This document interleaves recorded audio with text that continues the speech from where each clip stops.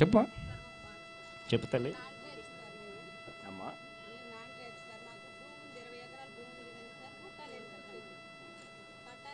ఇక్కడే కదా?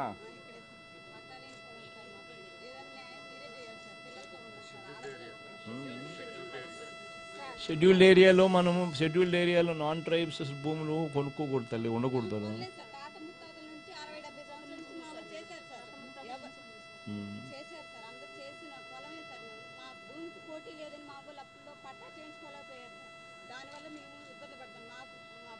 No identity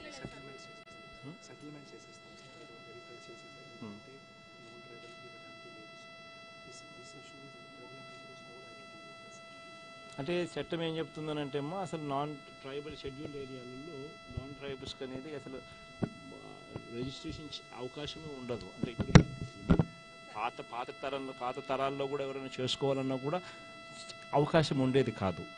ఉండే అవకాశమే ఉండదు.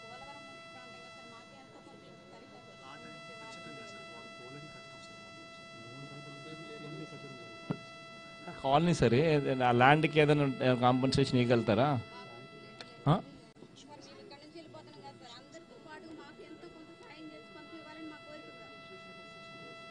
అట్లాంటి వాళ్ళకి ఏదైనా వేరే రకం ఏదైనా చేయగలుగుతారేమో చూడండి.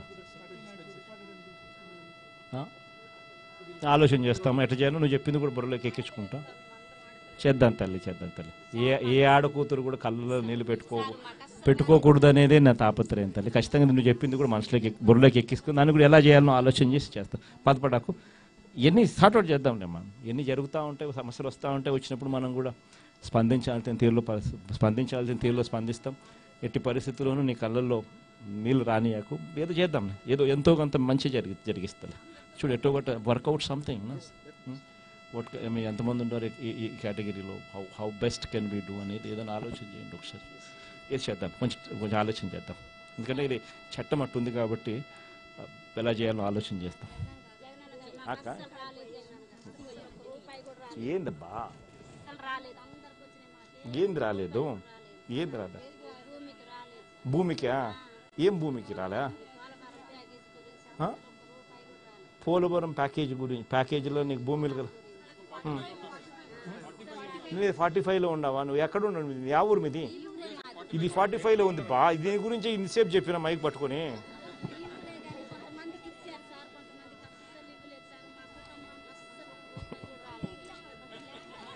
అక్క అక్క ఈ ఊరికి అందరికీ అదే సమస్య ఉంది అక్క. అందరికీ వస్తుంది ఒకటేసారి వస్తుంది ఇక వస్తుంది వస్తుంది అప్ప, అందరికి వస్తుంది లెక్క ఈ ఊరు ఈ ఊరు ఈ ఊరు ఏంటంటే అన్ఫార్చునేట్గా ఏంటంటే ఈ ఊరు నలభై ఐదులో ఉంది కాబట్టి అందరికీ ఇదే సమస్య ఉంది అక్క. కొంచెం ఓపిక పట్టు. నేను గట్టిగా ప్రయత్నం చేద్దాం. అది కూడా జరుగుతుంది జరగకోకుండా ఏం పోదులే జరుగుతుంది. జరగకోకుండా పోదు అది కూడా జరుగుతుంది. పోయిస్తామ్మా పోయిస్తామ్మా మన చేతుల్లో ఉంటుంది నా ఇది కేంద్ర ప్రభుత్వం చేతుల్లో ఉంటుంది. ఎందుకనంటే ఇప్పుడు వాళ్ళు పూర్తిగా కంట్రోల్లోకి తీసేసుకున్నారు. పీడిఎఫ్లు వాళ్ళే చెప్తున్నారు అమౌంట్ ఎంత చెప్పాలో వాళ్ళే చెప్తున్నారు ఎకరాలు ఎక్కడ ఎన్ని ఉండే వాళ్ళే చెప్తున్నారు వాళ్ళ సర్వేలు కూడా అని చెప్తున్నారు. మన చేతుల్లో చేయాలనుకుంటే మనం మనం మార్చినామని అనుకో ఏదైనా చేసి చేసినా అనుకో మన మీద తప్పు చేసినామని చెప్పి మళ్ళీ మన మీద అనే పరిస్థితిలో ఉంది అది నువ్వు నువ్వు చెప్పిన నువ్వు చెప్పిన అంటే forty one point one five అనేది రీడిఫైన్ చేయాలని అంటావా? అంటే ఈ ఇది ఈ ఫ్లడ్ అనేది వేరే ఈ ఫ్లడ్ అనేది ఎందుకు వచ్చిందని నీ పేరు ఏం పేరు ఈ ఫ్లడ్ ఎందుకు వచ్చిందంటే జానీ ఇరవై ఏడు లక్షల క్యూసెక్స్ ఒకటేసారి అరుదు ఇది. I mean nineteen eighty six తర్వాత అట్లాంటి పరిస్థితి మళ్ళీ అను అరుదుగా వచ్చింది. కాబట్టి ఇది జరిగింది. కానీ దీన్ని కూడా మాడ్యులేట్ చేసి ఇది ఆ ఫ్లడ్ లెవెల్లోకి నువ్వు తీసుకునే కార్యక్రమం చేస్తే ఆ, రకంగా మాడ్యులేషన్స్ చేద్దాంలే. కానీ బట్ ఆ మాడ్యులేషన్స్ చేసిన దానికి ఫార్టీ వన్ పాయింట్ వన్ ఫైవ్కి సంబంధం రా. అయినా గారు నువ్వు చెప్పింది కూడా టెక్నికల్ వాళ్ళకి చెప్ చేద్దాం.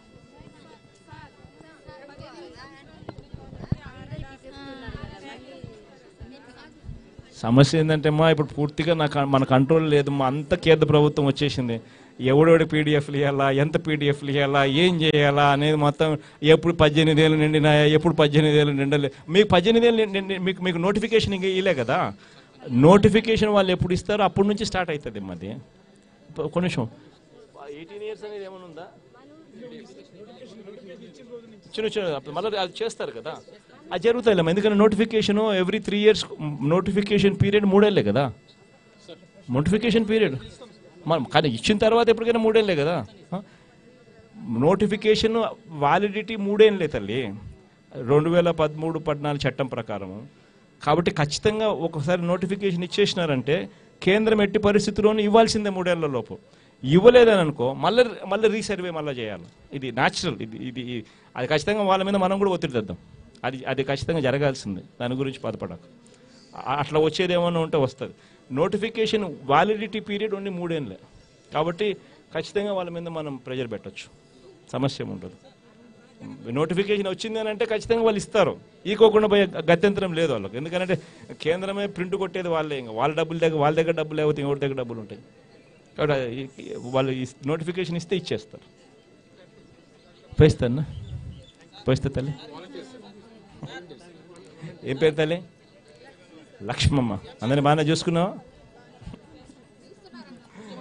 అన్నా?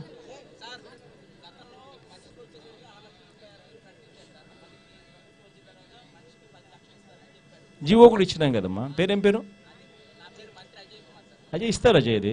జీవో కూడా ఇచ్చినాం అది. అది మీకు ఎప్పుడైతే షిఫ్ట్ చేస్తామో అప్పుడు ఇస్తా పోతాం. ప్రస్తావన అందరు అన్న ఎప్పుడో నేను నువ్వు తేక మునిపే నువ్వు నువ్వు తేక మునిపే నేను చెప్పినాను చెప్పిన అజయ్.